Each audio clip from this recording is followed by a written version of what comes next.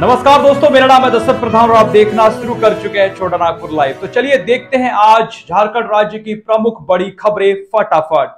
JP Nadda ने हेमंत सरकार पर हमला बोला, कहा झारखंड गठन के बाद मौजूदा सरकार की कामकाज सबसे खराब। 2024 लोकसभा चुनाव को देखते हुए बीजेपी जनसंपर्क अभियान में जुट गई है।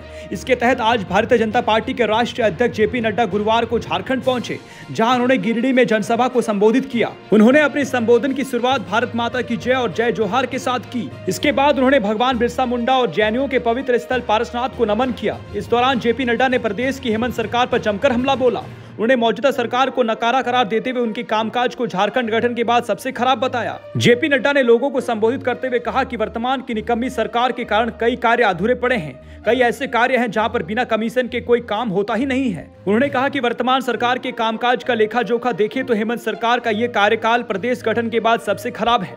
राज्य में महिला और बहन के साथ बलात्कार की घटनाएँ बढ़ती जा रही है। राज्य में लव जिहाद की घटनाएँ भी तेज़ी से बढ़ रही है। वर्तमान सरकार प्रदेश को प्रकाश से अंधेरा की ओर ले जा रही है। जेपी नड्डा ने मौजूदा झारखंड सरकार को घोटाले की सरकार बताया है। उन्होंने कहा कि सबसे बड़ी ज़मीन घोटाला झारखंड में हुआ है।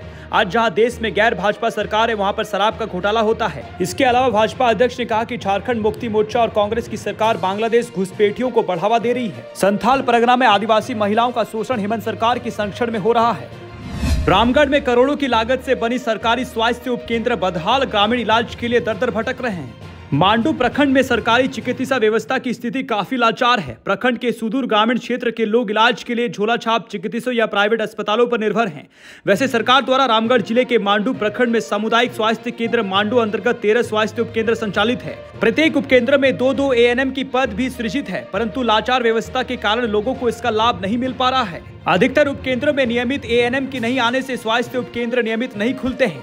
वैसे किसी भी स्वास्थ्य केंद्र में चिकित्सकों की पदस्थापना नहीं की गई है।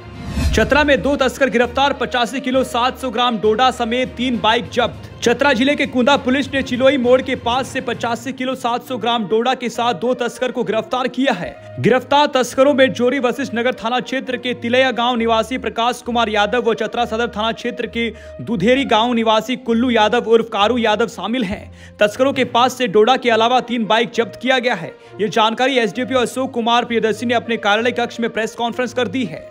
देवघर के नगर निगम क्षेत्र में शराब बिक्री पर रोक श्रावणी मेला के दौरान होगी पाबंदी। राजकीय श्रवणी मेला 2023 के दौरान श्रद्धालुओं की सुविधा को लेकर एसडीओ दीपंकर चौधरी की अध्यक्षता में सूचना भवन के सभागार में होटल व धर्मशाला संचालकों के साथ बैठक की। बैठक के दौरान उन्होंने होटल धर्मशालाओं के संचालकों को मेले के दौरान अपने प्रतिष्ठानों में सफ़ाई की व्यवस्था और सीसीटीवी कैमरा दुरुस्त रखने, होटल के रेट चार्ट का प्रदर्शित करने और होटल में फ़ूड सेफ्टी से जुड़े सभी मानकों के अनुपालन का निर्देश दिया। एसडीओ ने पहचान पत्र निर्गत करने, पार्किंग से जुड़ी व्यवस्था को बेहतर करने, होटल के सामने पार्किंग कराने, या जाम की समस्या उत्पन्न होने पर कड़ी कार्रवाई करने और होटल में ठहरने वाले सभी लोगों की डिटेल्स और आईडी सही तरीके से रजिस्टर में अंकित करने की बात कही। उन्होंने श्रावणी मेला के दौरान नगर निगम क्षेत्र में शराब बिक्री पर प्रतिबंध लगाने, होटल में शराब की बिक्री बंद रखने का सख्त निर्देश दिया। मास सुसाइड मामले में सात साल बाद सरकार परिवार की बहू को रांची पुलिस ने कोलकाता से किया गिरफ़्तार। राजधानी रांची साल 2016 के अक्टूबर महीने में काँप उठी थी। मामला था एक ही परिवार के छह लोगों की आत्महत्या का। सेना से रिटायर्ड डॉक्टर सुकांत सरकार और उनके घर के पाँच सदस्यों ने बहू से प्रताड़ित होकर मौत को गले लगा लिया था। इस मामले में रांची पुलिस ने कोलकाता से घर की बहू मधुमिता सरकार को कोलकाता से गिरफ़्तार कर लिया है।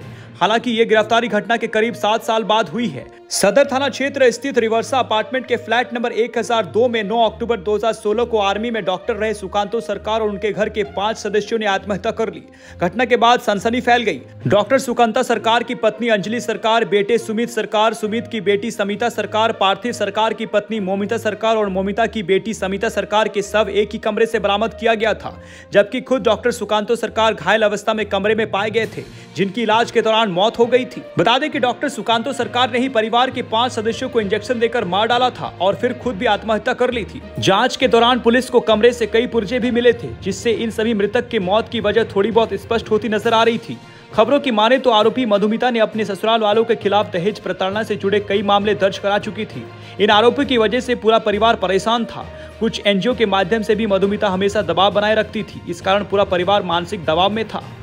भोला पांडे गिरोह के चार अपराधी रांची से गिरफ़्तार, बड़ी घटना को अंजाम देने की बना रहे थे साजिश। एटीएस की टीम ने बरियातू लालू खटाल रोड स्थित होटल डीएन ग्रैंड में छापेमारी कर भोला पांडे गिरोह से जुड़े चार अपराधियों को गिरफ़्तार कर लिया है। गिरफ़्तार अपराधियों में पश्चिम बंगाल के नियमातपुर निवासी सुधीर कुमार उप टप्पू, सिकदरी के हिसातू निवासी सुबोध कुमार साहू, नामकुम के लोआडी निवासी टिंकू सिंह और नामकुम के सदाबहार चौक कालीनगर निवासी राजेश झा शामिल है।